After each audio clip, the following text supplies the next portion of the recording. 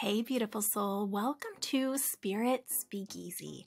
I'm Joy Giovanni, Joyful Medium. I'm a working psychic medium, energy healer, and spiritual gifts mentor.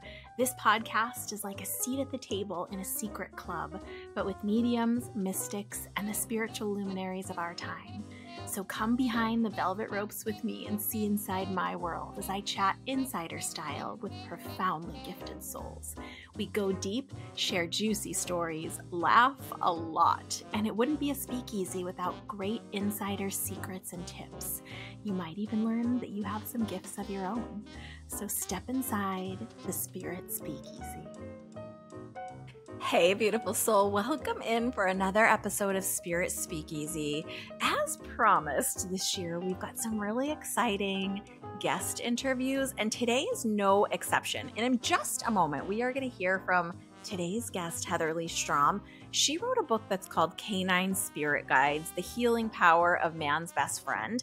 And it's not what you probably think at first listen to that title that it is. It's not about our animal guides. It's about the guides that work with the canine animals in our lives to assist us. So, guides for us that work through our animals.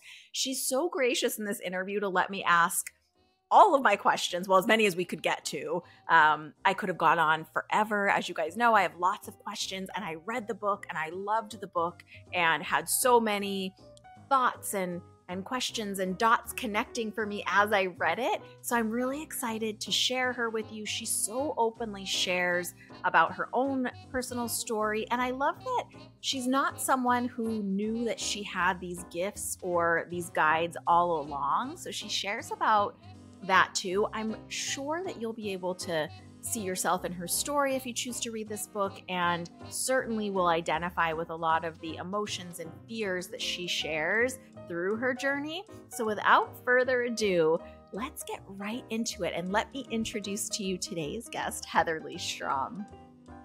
Welcome back for another episode of Spirit Speakeasy. We have a treat today.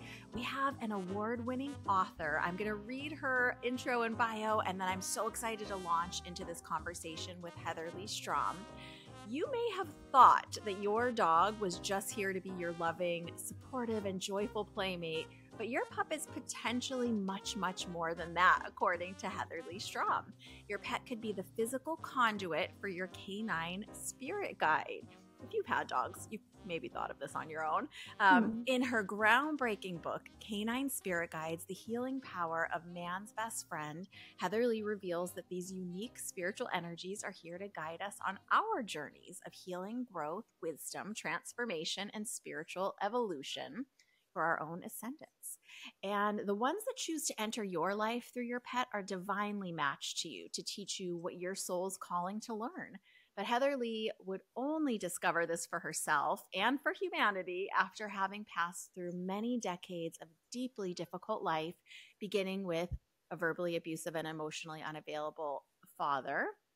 Then her journey through poverty, crippling accidents, loss, and so much more Fueled by sheer determination and will, pain, and repressed rage, she nevertheless created three highly successful careers in dog training, physical therapy, and cycling. And today, Heather Leigh Strom will share part of her story of how her canine companions each came to her with specific gifts at a specific time to move her towards her own healing and a joyful life and how she's become the channel through which the canine spirit guides are bringing their message and frequency of healing and transcendence to us all. Uh, as you know, of course, I'll link all of her contact points in the show notes. But welcome in, Heather Leigh. How are you today? Thank you, Joy. I'm terrific. Thank you for so, having me. Oh, thank you for being here. It's so wonderful to talk to you right before we press record. I was just telling you how much I enjoyed your book. I feel like there's so much packed into what is under 400 page book. It's, it's not a terribly difficult read, but it's just so jam packed. Yeah. Yeah. One of the beautiful things that you actually disclose in the book is that it was these canine spirit guides that helped you understand how the book was to be ordered and the information you were to share. How amazing yeah. is that? Yeah. Yeah. I had no idea any of this was coming. And that was that made it even more spectacular. I bet. Would you kind of start at the beginning and give us a little bit of overview? One of the things I just loved among many was that you wouldn't have really necessarily identified as a spiritual person yourself through the journey of your life and what a journey it was. Will you share yeah. a little bit about your journey to get to even understanding that these guides are working with you? Yeah, it's been an incredible journey and I just keep pinching myself, you know, because it it just seems so surreal. And um, you know, I grew up a preacher's daughter. uh, I never fit in and I was a very um, what do you say? I was a wounded child, so I didn't speak very much. And because of that, I didn't know how to interact with people. I didn't have very many friends. And my dogs were really my only source of companionship and friendship for a long time. And uh, thankfully, I had them at least. But um, I had a lot of wounds from my childhood that I I knew were there, but I didn't know what to do about them. You know, like a lot of people, I spent a long time in my adulthood searching for answers. Why was it the way it was? What can I do about it? How can I resolve these feelings? What do I do now? And I've, I turned over every stone. I read every book. I did every self help technique and every affirmation, you know. I tried to resolve all of this. I knew it was eating me up inside and I couldn't find a way out of it. So I tried to just go on. And what I disclose in the book is how obviously this does not work. And it, it bleeds into other parts of our lives. It becomes transformed into some other um, part of us that we don't like. You know, um, it has to be expressed and it has to be dis- um, healed and dissolved before you're done with it. So um, I found my way into the medical profession because that felt like a safe place to be, a very logical place. And I was always very, very curious about the body. So I spent 30 years as a physical therapist, a Reiki practitioner, massage therapist, functional medicine practitioner. I just kept reinventing myself because I never feel like I know enough. Um, but it just never was enough. You know, it just, I, working with the physical body only got me so far as far as my clients go and also with myself. And I'm, I just knew there was something else there. And the first dog in the book, Tori, was instrumental in, in this whole process kicking off. She was the most recent dog that I had. And when she died, it literally broke me and I swore I would never have any more dogs. It, you know, i would had 30 dogs up to that point, and for some reason, she was the straw that broke my back. I just was done. Uh, unfortunately, I didn't have a choice in that matter, which yeah. which is revealed in the book. But um, but when she died, it was a shift of sorts, and this started a time period for me that I describe as a cocoon. It was a it was a dark place, although I didn't know it was a dark place. I just felt really lost and I felt lonely and I didn't have any direction. And it took 11 years in this, this whole, this stewing of this cocoon, which I didn't know that's what it was at the time until it burst open. Um, but through these 11 years, I became more and more desperate to find myself, to find the answers to discover why am I here? Because as far as I was concerned, the world was a terrible place. why am I here? and I couldn't understand other people that were very positive about the world and had these wonderful relationships with other people because I had never experienced that for myself. So um, I just learned after the fact that this was very critical in sort of preparing me for this major explosion that was about to happen. And after the fact, you know, 2020 hindsight, it all made sense. But I tell you, during that that 11 year period, I was very miserable. I describe it kind of as um, an eczema on the inside of your skin. Like you oh, just wow. can't reach it and you can't figure out what it is and what's causing it. And it's this constant irritation. So, um, ironically, what put an end to this time period was during COVID lockdown. when we were all shut into our homes and I did have I had one daughter left of of Tori, the dog that I referred to. Mm-hmm. Um, she had left me with two of her babies and I still had her left. So she and I were out in the yard one day and we stumbled upon something really, truly amazing. Uh, I don't know how many of you know what a conjoined twin is. Have you ever heard that? I, I think, know you've read the book. people will probably know what it was. And that really was such a profound way that you kind of tiptoed into this whole unfolding of everything. So go ahead and share about yeah. that. That was such a cool, interesting yeah. the book. Um, a conjoined twin, of course, is the, the lay term for it is a Siamese twin. So um, in my yard, I found a conjoined squirrel that they were joined at the back and they were about halfway grown and it looked like they had fallen from the nest which was quite a ways up. Yeah. they had parts of the nest intertwined within them around them so it looked like they had literally just grown into their nest until they finally got too heavy and just fell. And it, it appeared that their mother had kept feeding them because they weren't emaciated. Half of this squirrel was already dead and was swollen. The other half was still alive when i found it and it it it was very startling to me. I had never seen a Siamese twin in person, and it it really tapped into my heart. And my dog was also very startled. Usually she goes after prey in the yard and she found this conjoined twin and she kind of went, Whoa, what is that? and she didn't want anything to do with it. So she was also very affected by it. And um, I didn't know what to do for this creature. So I just tried to put it aside where it wouldn't be harmed anymore, but I wasn't sure what to do with it. So, but what was so miraculous about this was when I saw it, this this whole shield of energy just poured down on me and I felt this major change. And it was almost like it was almost like a vacuum feeling. Like all of a sudden everything was just sucked off of me and I was naked. And I, I felt very uncomfortable there, of course, because I had never been naked in my life, you know, spiritually. I'd always been mm. shrouded in, in pain and anger and resentment. You know, I'd always felt that way. So it was very uncomfortable the way I was feeling, but it also told me that something really huge was coming. And I didn't know what it was. I just suddenly had this, this desire to find spiritual people that could help me through whatever was about to happen.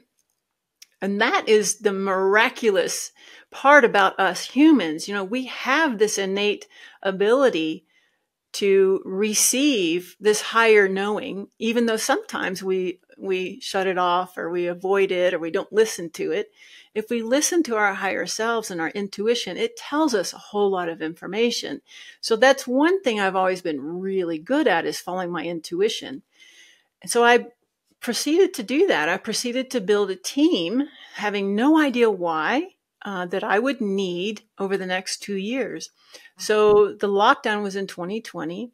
By the end of 21, I had located the first member of my team, which was a numerologist. Shortly thereafter, I met with my mentor for the first time, who was a um, he was a clairvoyant shaman, mystic shaman. He has lots of titles, clairvoyant, mystic shaman. And he guided me through this entire process that was about to explode after meeting him. And one thing he told me was that I was going to be writing a book after he um, met with my my soul's energy. He said, "This you're about to write a book, and it's got to be done this year." So I met with him uh, February of 2022, and having no idea what the book was even about, it was written by October of 20 of 2022. So it was written very quickly, and um, after that, I found with his help, I found a um, um, wow. Um, I want to say anesthesiologist, but that's not like correct. regression therapist is that technically? Yeah, she was a um, therapist. Yeah, hypnotherapist. Thank you, and also an astrologer that was incredibly talented. And when you work with her, it kind of felt like she was just reading your soul. I mean, it was yeah. just the most in depth explanation I've ever gotten of who I was and where I was going. So these key team team members were really critical in helping me move forward quickly without having any doubts or fears or concerns. I mean, they just really held my hand. And what was so fascinating by it, by the whole process was I didn't know the canine guides were working with me this whole time. I didn't know that they had helped to handpick all of these people. I mm-hmm. didn't know that they were working through these people with me. I, the only thing I knew was that my mentor could hear them and they would answer my questions, but they would not deliver their message to him. They would only speak to me. So that kept everything really pure and um, sacred as far as I was concerned, because I didn't want to feel like someone else was putting words in my mouth. You know, I needed to know this was coming from me. So he would answer my questions, and I always had a million questions when I met with him, um, mostly to validate what I was getting. You know, I was already channeling and had no idea.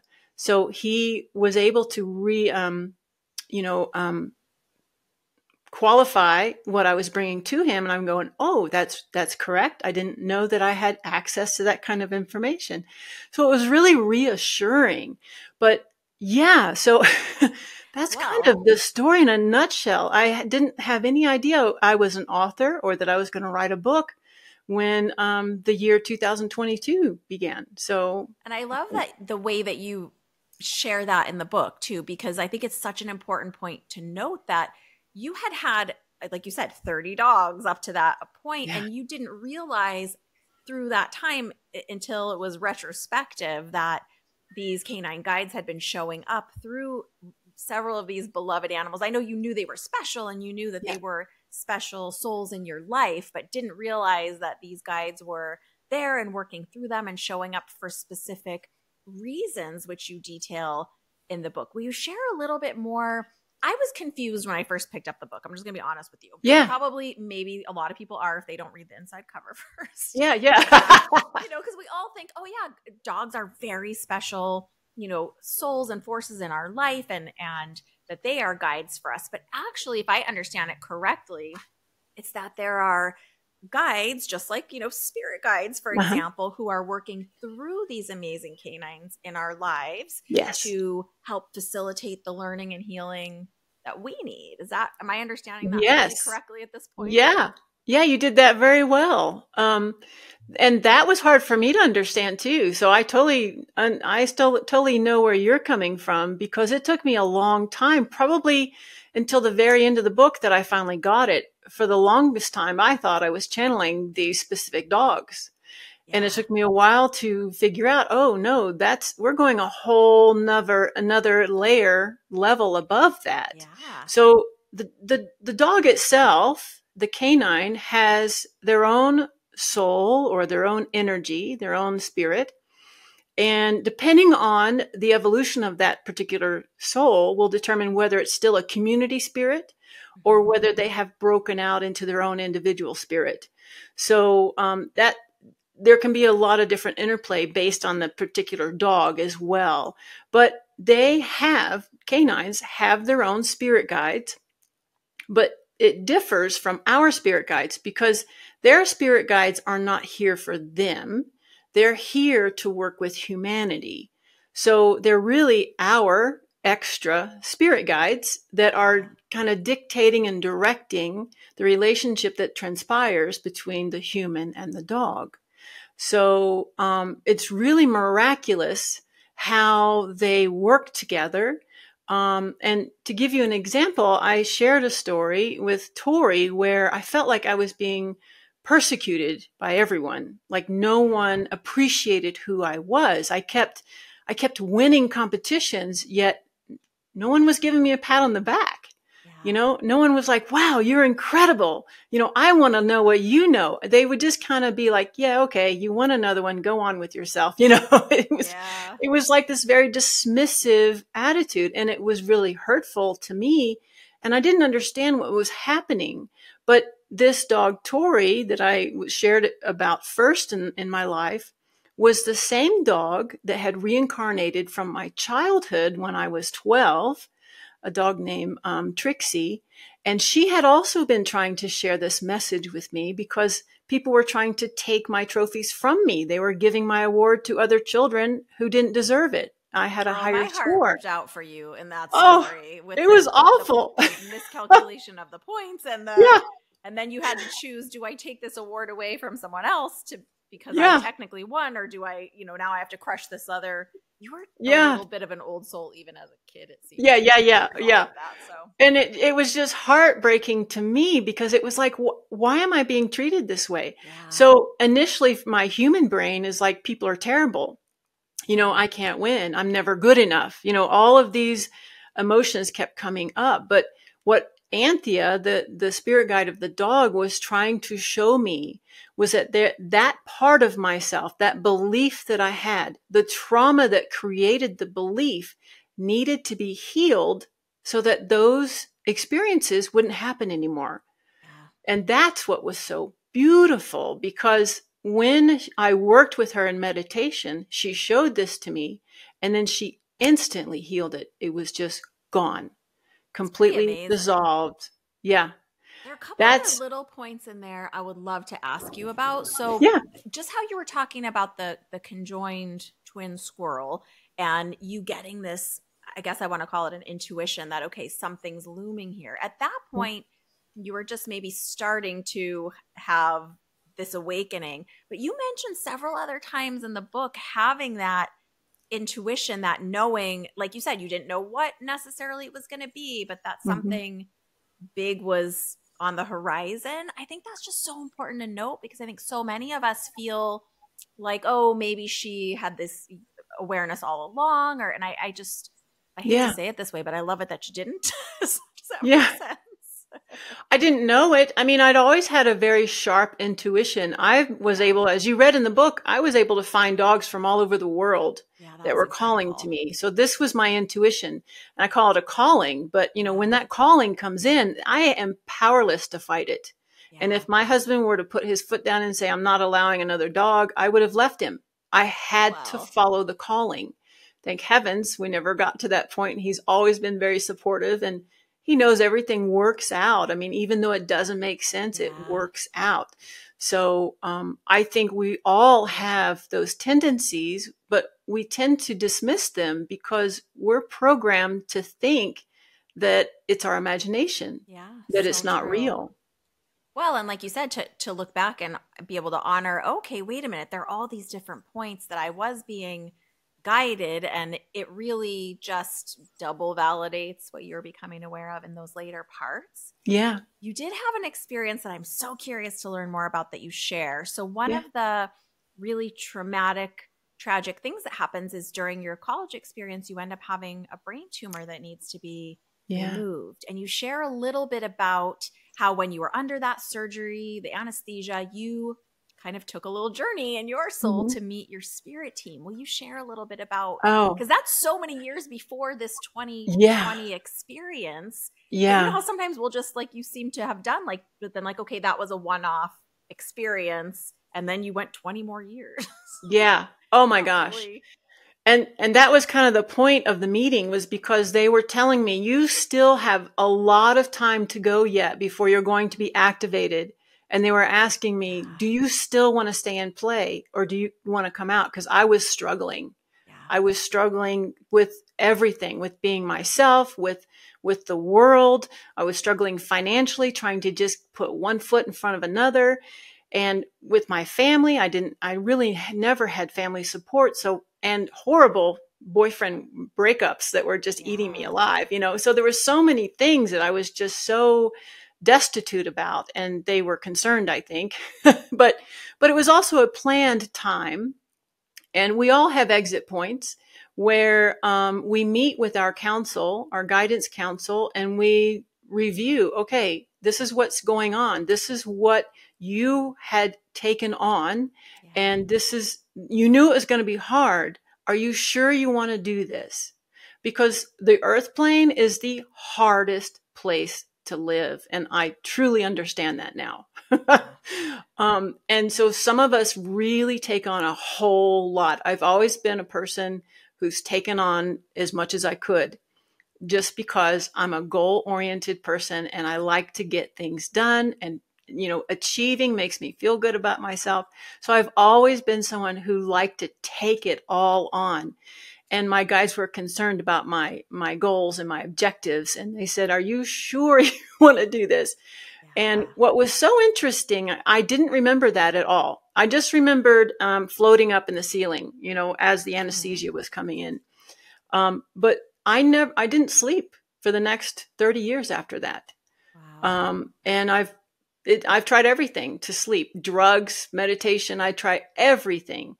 Um, and uh, what was so fascinating was when my um, astrologer read my chart and I, I described this scenario to her, and she instantly put together a new chart for that event. And she said, Oh, that they were meeting with you. It was an exit point, and they were you were trying to decide whether to stay or go. And ever since that surgery, I kind of felt like something happened during the surgery. I wasn't sure what. I just had this feeling that something happened, and that's probably why I couldn't sleep. I wasn't sure what it was. I was kind of nervous. I thought, well, was I abused when I was under anesthesia? I mean, surely not, but something profound happened. Um, and ever since that day, it felt like my life was different. It felt like a whole different like you take the book of life up to that point and you flip it over and it's the total opposite of everything it had been before. It was really fascinating. It felt like a do over or a second chance. And what I describe in the book is that I went back through my whole life the dog training, the cycling, um, I can't remember what else, uh, massage. I revisited all of that and did it over again and took it to the next level, went way beyond what I ever thought I was capable of, of going with either one of those. And it was kind of like an extension on life, really. I felt like it was a bonus. Like it was, oh, wow. you know, like a, it was the bonus part of my life. Had I not stayed, I wouldn't have experienced that. Right. I would have just had the negative oh. part of the life. Yeah, that's true. And it's so profound I, I'm sure you don't mind me giving this spoiler, but as part of that surgery, it wasn't like you suddenly woke up and then you're the healthiest, strongest version of yourself. You then had to spend 20 years, was it, relearning all of your cognitive skills and teaching yourself to read again and learning your yeah. math, which you had excelled at previously. Yeah. And so uh, it's so fascinating to hear you say it was this, you know, second chance, this next chapter for you yeah. when I know you know, from the back end, you really were still having to work yeah. so, so hard through all of that. And then you share with us how, in retrospect, you could see these canine guides showing up through additional, you know, animals who were in your life, loving you and, and being companions yeah. to yeah. assist you through that part of the journey. How incredible. Yeah. yeah, it was really incredible so special. Will you? So, in the book, you share about what you call the core four, who are mm-hmm. the first four of these guides that you're introducing us to. Um, yeah. You kind of give a little trail off at the end, and, and through the book, you mentioned that there are potentially more than 50 yeah. of these guides, right? Yeah. Um, and more will be introduced in future books. So before anyone gets nervous, yeah, I'm sure you've got more more books on the way.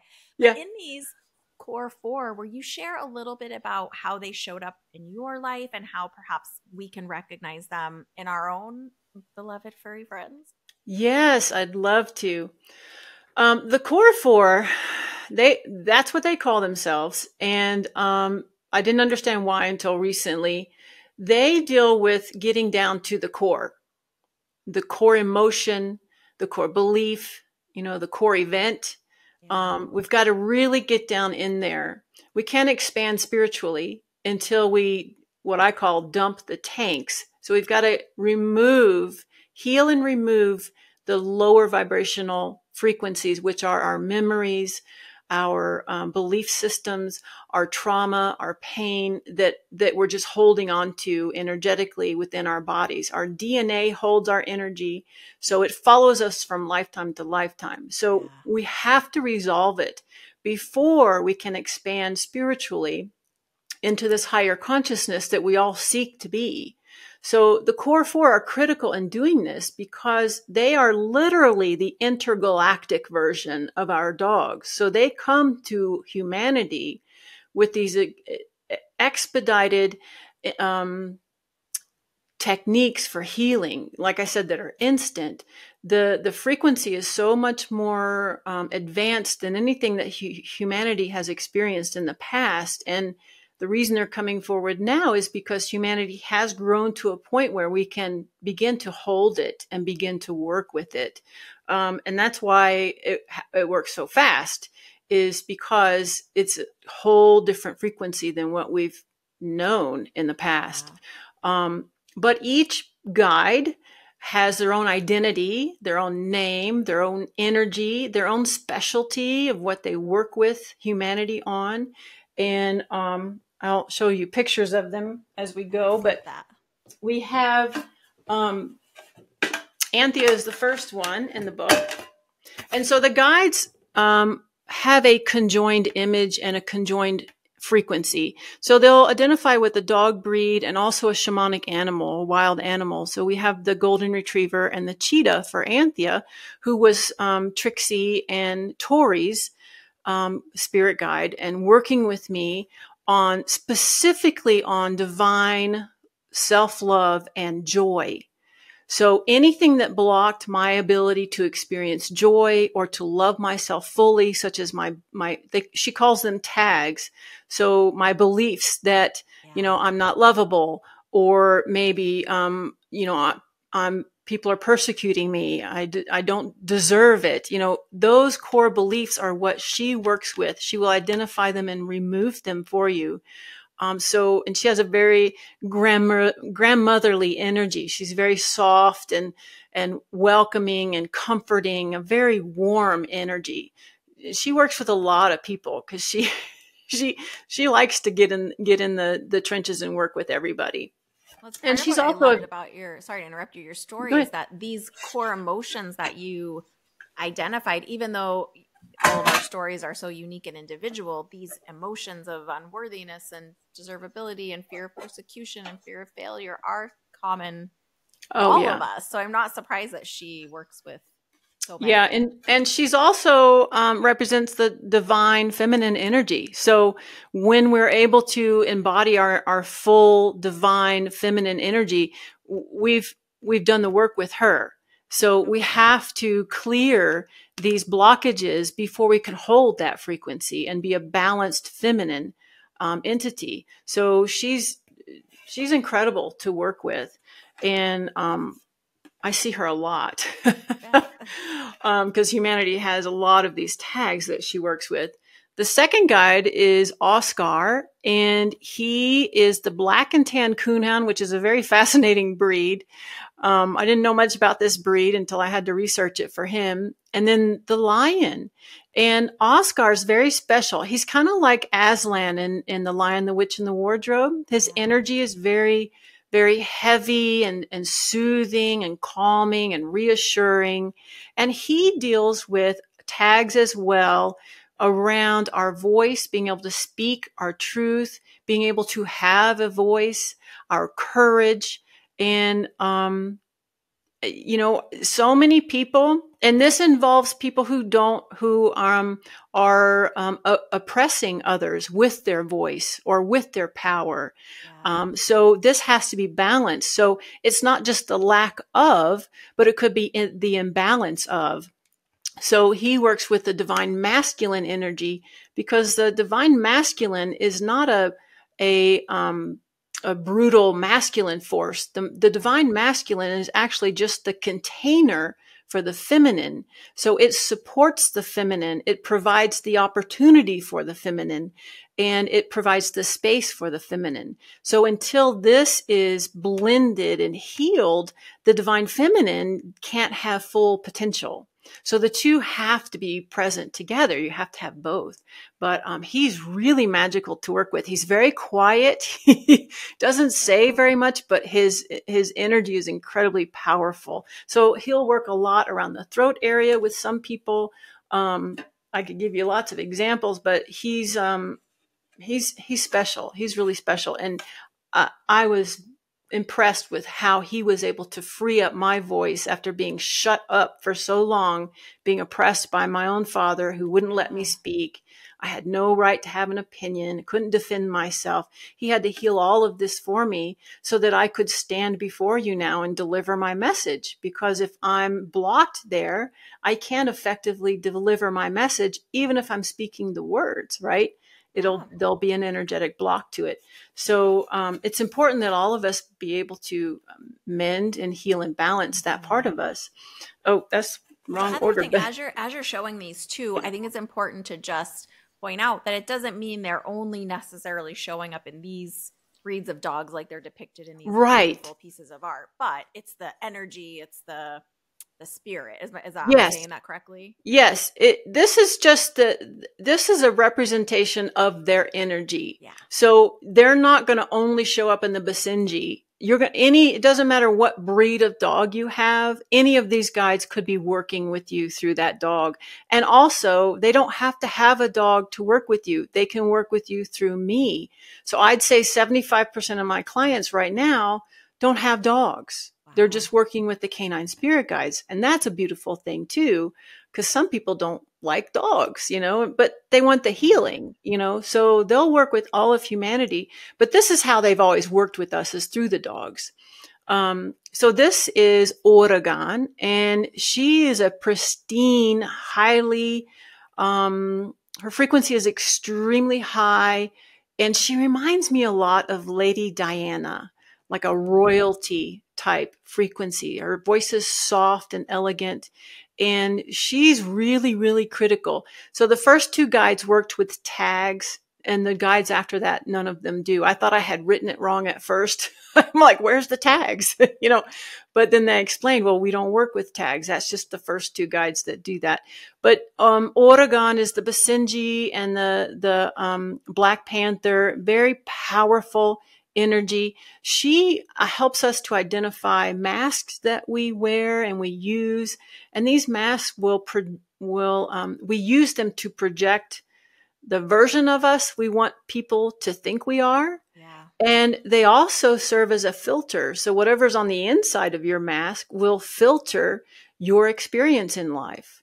So if you've had a, a, bad run of it and you, like I did, and you think that all humans are bad, then that's all you're going to see. Yeah. That's all you're going to experience in life. So until these masks are identified and removed, you can't really fully connect to your soul because you can't see it. You can't find it and you can't perceive it. And even if you did get to your soul, you wouldn't be able to see it because the mask would block that. So she dissolves these masks for us, just as she did for myself. And then once that's dissolved, she will escort you to your divine soul. And that was one experience in the book that I shared. I had never met my own soul before, and it was the most incredible energy I had ever experienced. I thought it was God. yeah. You know, I thought I was in the presence of God. I didn't know that my soul was that expansive and that pure. So it's important that humanity realigns with our soul right now because when you're in that space of your pure divine soul, the only emotions that you're capable of are love and joy. That's it. Yeah. So if all of us walked around connected to our soul, we would have no bitterness, no anger, no war, no violence. I mean, it just wouldn't be possible. So it's really important right now that humanity connects with that part of themselves. She's really special, and she is my favorite, which is why she's on the cover of the book. I love how you share connecting with our own soul too, because I, I, feel like it's so, you talk about it a lot in the book, and I feel like it's so commonly misunderstood that we are separate from our higher self. Sometimes the way yeah. I say it is like it's, it's live streaming through through us. Yeah. But the greater part of it exists yeah. outside of us just because we can't. We're small containers. Yeah. Um, I, I love how important you focus, you know, put the place the focus on that yeah. book. Yeah, it was a big revelation for me. You know, uh, this body, this container can only hold a small fraction of our soul. Yeah. And when you take that field trip and you meet with the entire expanse of your soul, it's a real shock, yeah. you know, because we've been so disconnected from it. So, yeah, I mean, it's incredible. If if I want more people to experience that, to experience what I did because it was so life changing and it would be life changing for our whole race, for all of humanity if we could uh, sure. connect again, yeah, you know. Sure. It would be incredible. Now the last guide, um, he was a little bit tricky. This is Daman Yaradan Eric. Um, he has three names, and it took me a long time to understand that, and and then also to be able to write it because I only speak English.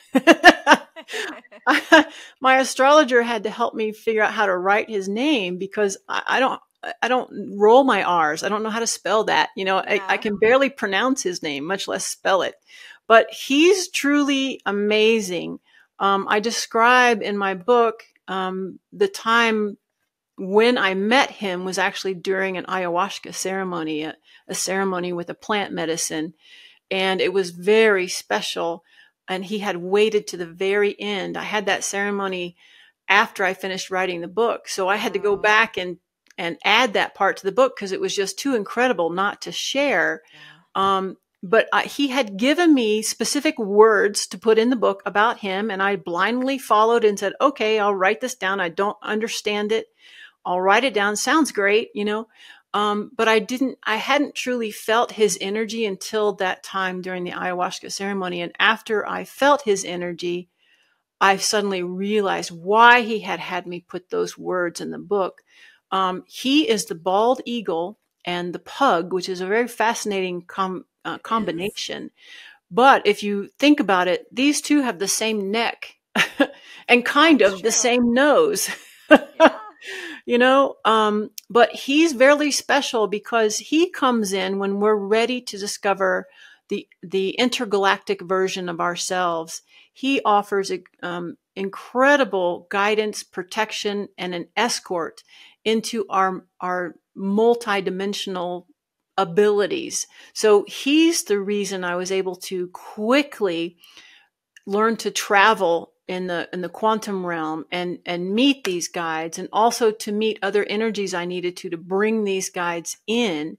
And he also showed me past lives that were critical in understanding so that um, I could connect the dots a little bit more. And then he and then he helps to heal all of that as well. So he's an incredible presence and he's actually the guide of my current dog Gigi.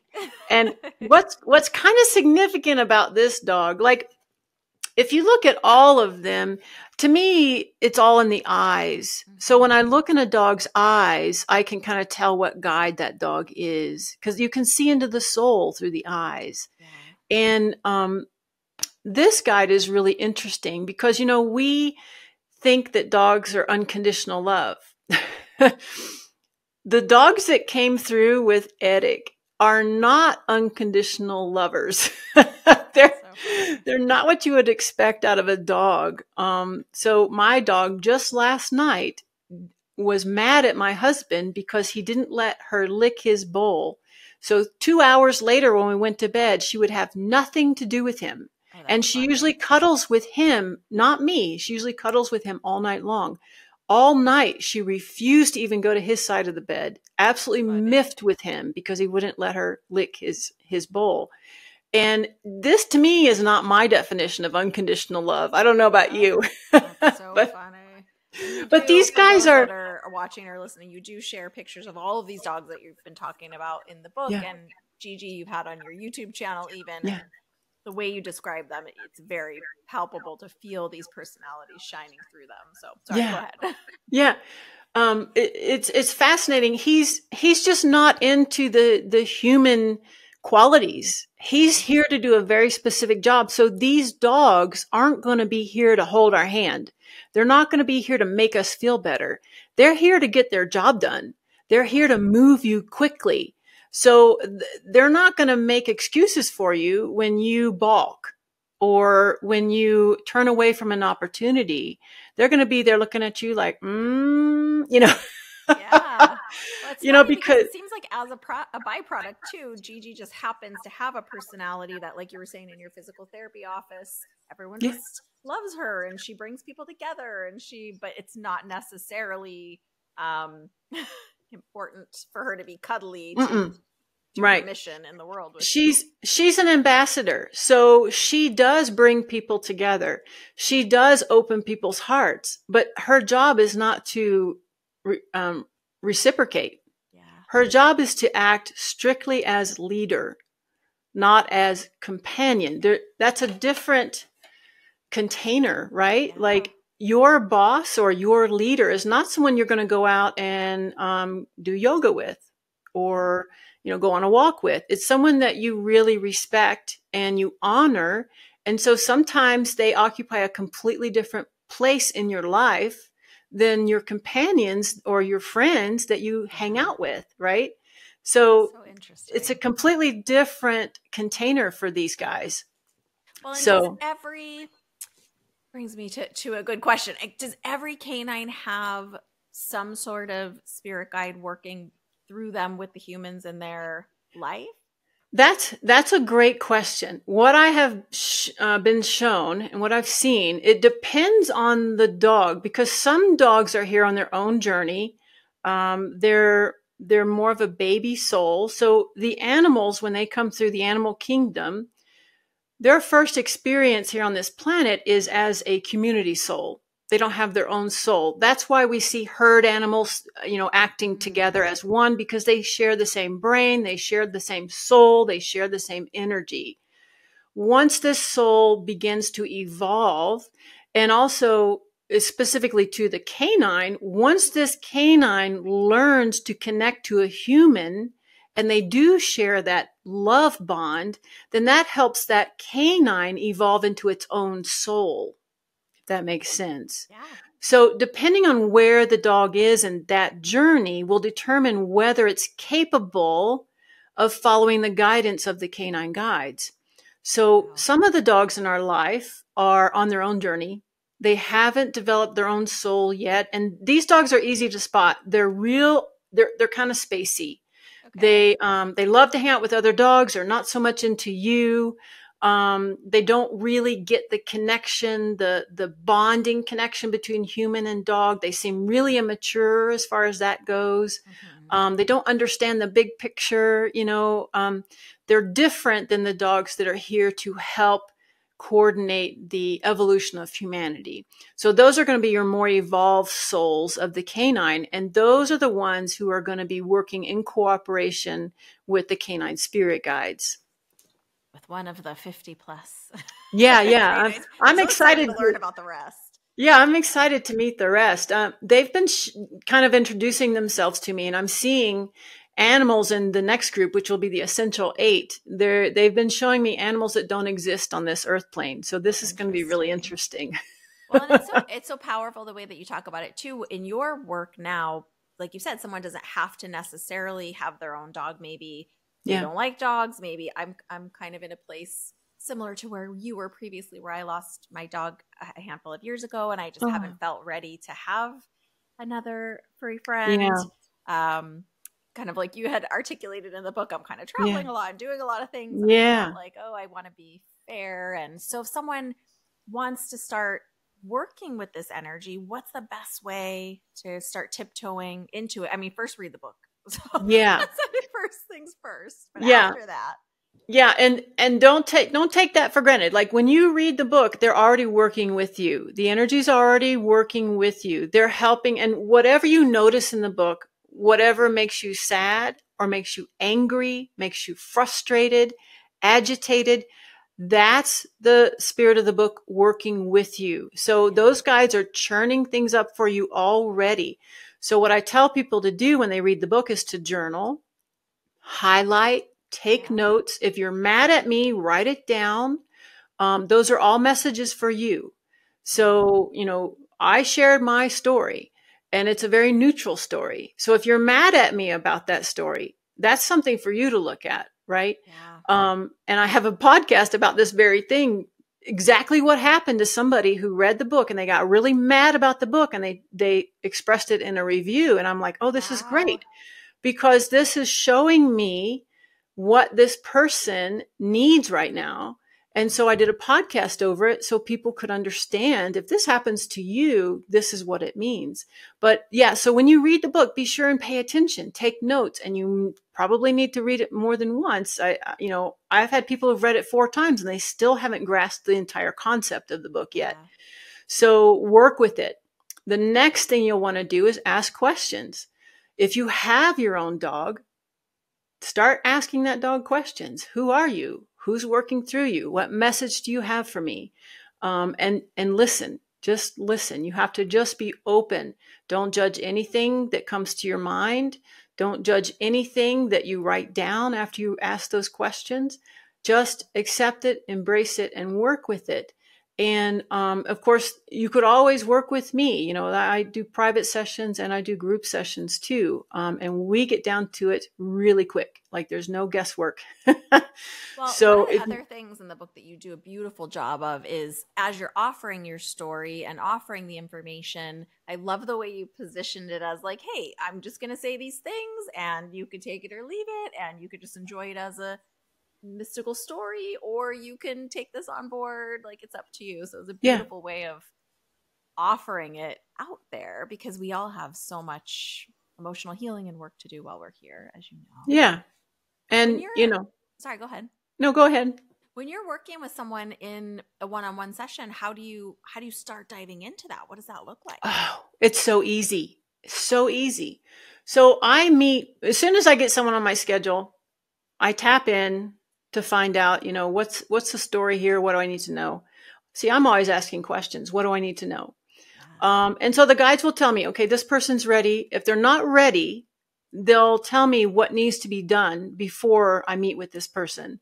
So I might write the the client and say, okay, the guides know you're coming. They need you to prepare. I might give them a meditation to do because energetically, if you're not ready, even though your mind says you're ready, we have to get your energy moving. So some of us have such buried, deep trauma that we don't even know about that has to be shifted and, and loosened and prepared to be freed before the session. So they'll give me things that the client needs to do to get ready for that.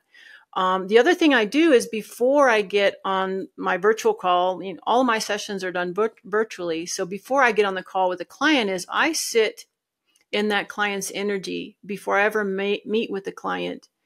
And I receive a download from the canine spirit guides about what the client needs to know. What is it that you're struggling with? And it's not just cognitively. What does your soul want you to know? So it could be about a past life. It could be about this life. I just recently did, um, not recently, but earlier this year, I did a reading and it was for a lady's concurrent life. Wow. So, um, you know, the galaxy, the quantum field is the limit. You know, there's so much more possible than we realize as humans. So, whatever it is that you need to know, that's what they want me to share with you. And then they'll tell me which canine spirit guide is going to be working with you during this session. And it all depends on what needs to be cleared, what needs to be um, what you need assistance with will determine which guide comes forward and volunteers their services for you. I had one, when I do one on one sessions, it's usually one guide at a time. But here recently, I had a session where all four guides showed up wow. and worked with her simultaneously. And it was intense um, during the session. And um, she really felt it and was really tired for a couple days. And then after that, she had she'd struggled with MS for 32 years. After that, her MS pain was gone. Wow, so amazing. she had to process it, and then and then she was um, relieved of her major complaint. But um, so when I get that download, I then get on the call with the client and I share with them what I've downloaded, and they have the chance to offer, um, ask questions. And I, since I'm still connected with their energy and I'm I'm connected with the canine spirit guides, I can share those channeled messages with them in real time.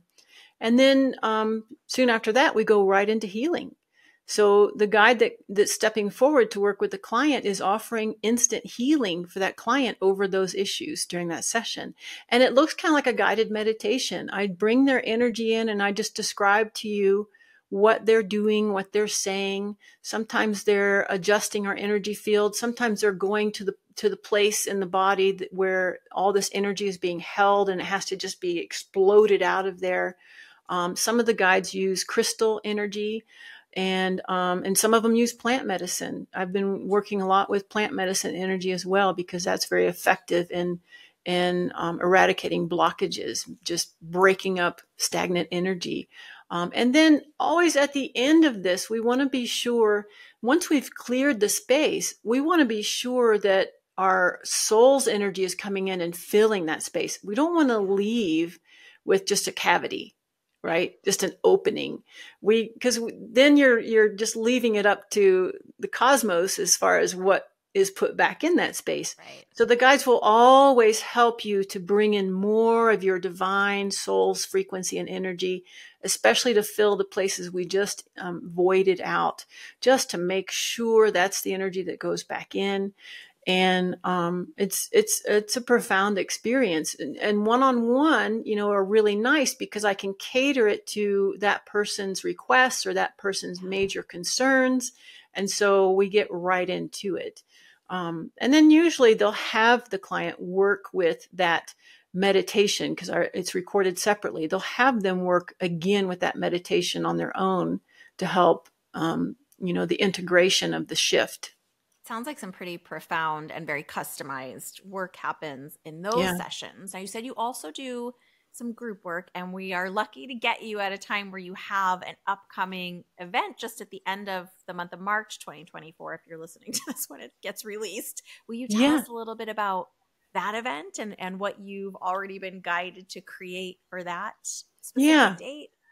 Yeah, um, it's going to be a really impactful event. It's a half day workshop with Anthea and Oscar, and and they're both uh, divine energy. So Anthea's the divine feminine, Oscar's the divine masculine. And what they've shown me is they want to help people heal these parts of themselves and and blend them together so that we have a more balanced human being. So during the session, we'll work with them one at a time and you'll get to know more about them, a little more in depth about these guides and what messages they have to share with the group that's that's within the room. And it's all virtual.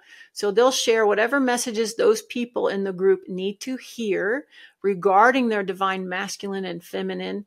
And um and then they're going to walk the group through. You'll get to work with each one individually. They'll walk them through a really intimate and yet profound spiritual shift. So it'll be like a guided meditation again. And the group sessions are really, really powerful because we have everybody coming together, co creating this experience. Um, so they always surprise me with what they're capable of doing. And the people who attend, you know, I get a mixed bag. Some people have never done anything like this before. Some people are really skilled with this type of um, experience. And usually even the people that are total novices are going to feel something. Even if they've never done meditation i've had people i've had people in the room everybody saw the guide in front of them even though they've never had an experience like that before. So it's a really it, they help us to shift our energy together when we're working like that. Mm-hmm. and another thing that's really important for us to understand is that when you make a commitment to an event like that, they're already working with you. Yeah. So they're already tapping into your energy. They're already sending me messages. I get previews for the, you know, the two weeks up to the event going, Oh, we're going to do that. Oh, we're going to do that. You know, they're just constantly yeah. feeding me information and um, I just go with it. I, the morning of the event, I just sit with them and I channel in what they're they're planning on doing with the group. So until then, I don't know what the final you know the final guest count is going to be, who's going to show up, and what's going to be necessary. So I'm usually surprised because it can change. You know, two days before the event, it can change. You know, compared to the day of the event. So I wait until the last minute to get the instructions. But it's it's incredible, absolutely incredible so what they're capable of yeah. we will be for those of you who are feeling intrigued it means potentially that your souls already being worked with by these guys. Yeah. Your interest to get you to this conversation. In the show notes, I will have all of the links for you to find all of the things. This is probably a little premature, but do you have any idea when we can expect the next book? Clearly, it's going to be a series. You already kind of told us Yeah. that in the the end. So yeah, it's it won't happen this year. I well, you know, I say that, but I move in flow. So for all I know, I could have another one out by the end of the year. And that's so funny because my publisher called me today, wanting to know if I was working on my second book yet. So funny. like it or not, I feel like you probably are. Yeah, I'm I'm I'm taking notes when I get them and cataloging them for future reference. Um, I just have I've been so busy promoting this book, I haven't had much time to sit and get any downloads for the second book. I don't even know what dogs are going to be in it yet. Um, but it's going to be a lot different than the first one. Be- The Essential Eight has a different motive and a different frequency. So they're kind of showing me it's going to be a little more magical and lighthearted.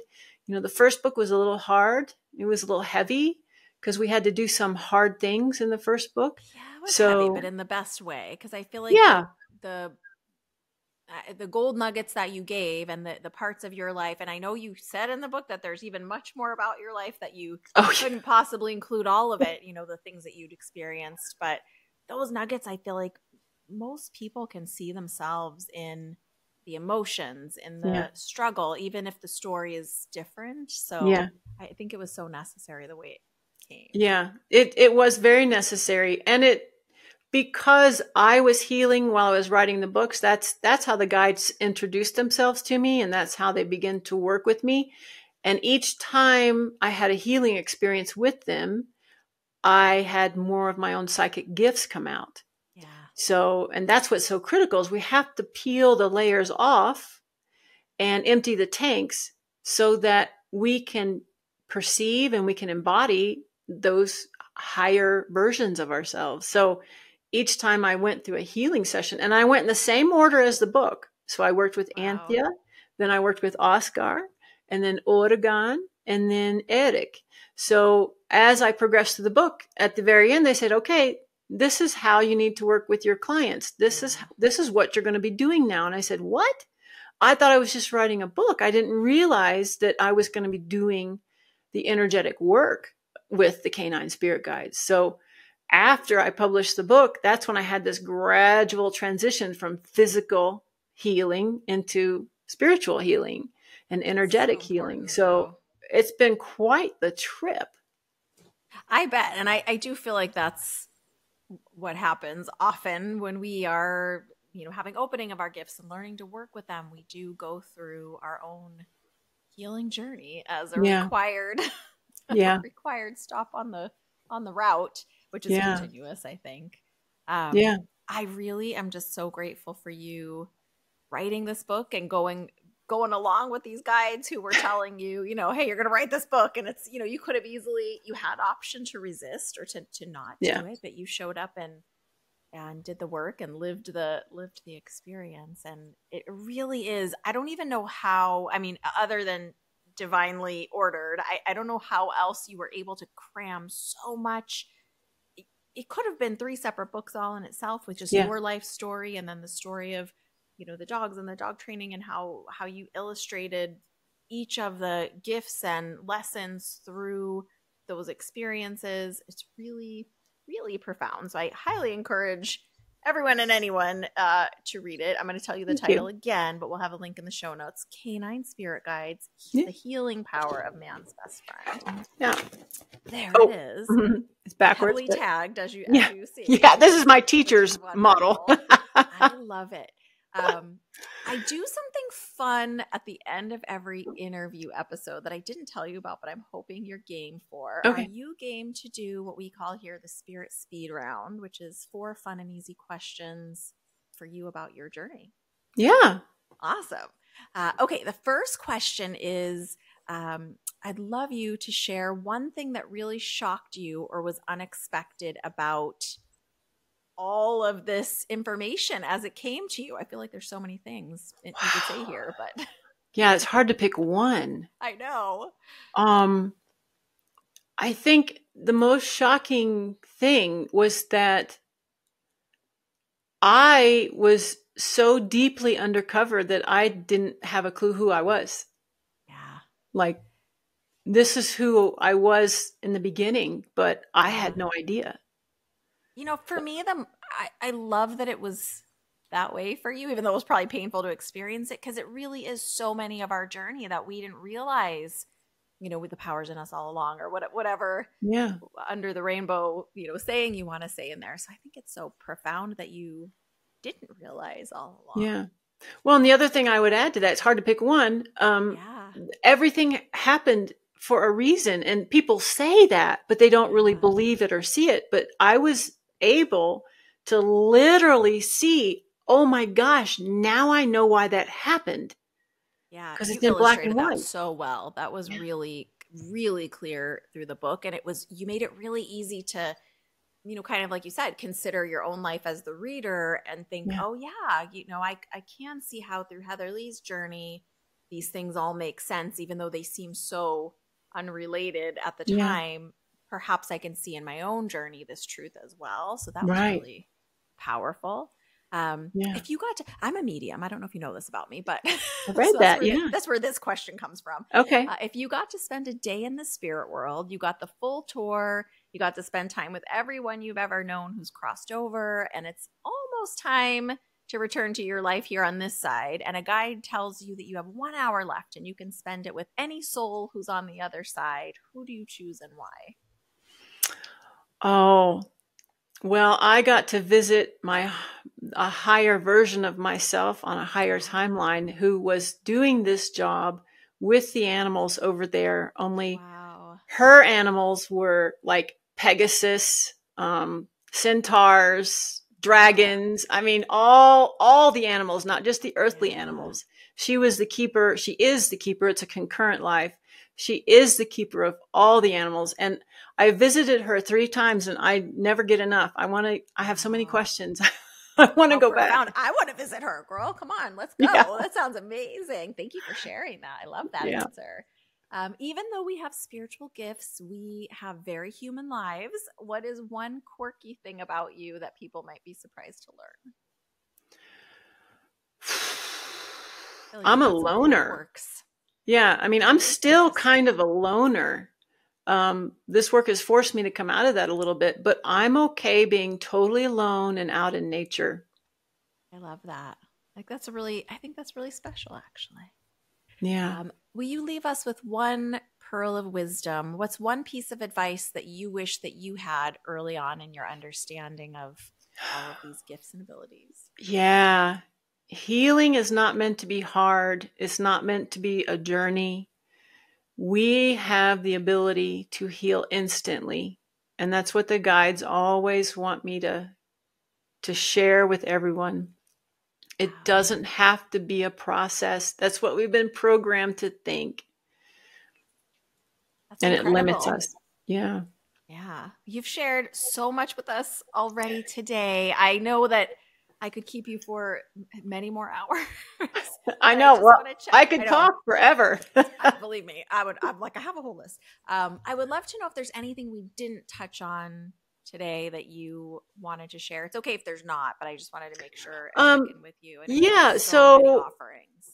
One of the group offers I have is my own podcast that I do on YouTube. And those podcasts are channeled messages from the canine guides. And then the last half of the podcast is a healing around that message. So um, people have access to experience the healing and the, the frequency of the canine guides when they attend those podcasts. So, um, you know, if they if they're curious about the canine guides and what that's like, they can check that out. It's on my YouTube channel.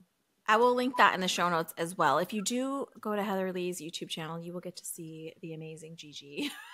Yes. welcome video has her in it, and I did get to um, sit through and watch and receive healing from one of those podcast episodes where you were channeling a message and, and Yeah. sharing about um, an event that was happening in the world and did Yeah. healing with that. So that those are really beautiful and powerful. So anyone who Yeah. is even a little bit intrigued or interested in what you do, I highly recommend going to the show notes and, and getting that link. Yeah. That's really amazing that you uh, offer those just just out there for anyone with yeah. no barrier to entry whatsoever. You no. can just go and, and receive it whenever. And Anthea also has offered a meditation for everybody on my webpage. There's a free meditation from Anthea. Wow, that's really that's powerful.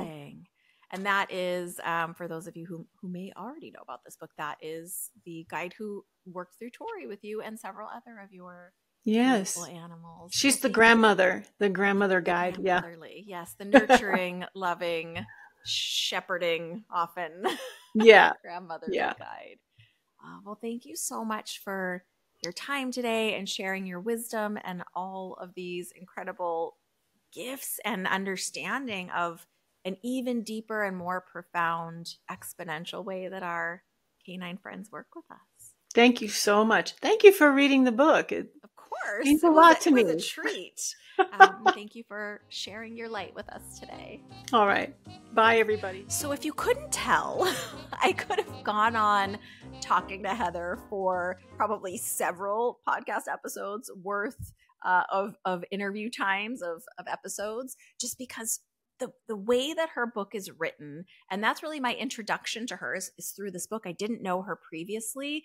Um, the book is just so profound. Like we talked about in the episode it's less than 400 pages and it's not a particularly like challenging read as far as like being hard to read. It's very conversational very um, open and honest and raw in the way she talks about her experiences and her emotions and i feel like we can all see ourselves in the emotions that she shares, but really the way she works in her experiences with the dogs of her life and how she can see through retrospect after having this profound awakening how these different guides were working in her own life. I just think you're going to love the book. So, highly, highly recommended. And as you guys know, I don't recommend a lot of books here. So, um, take note.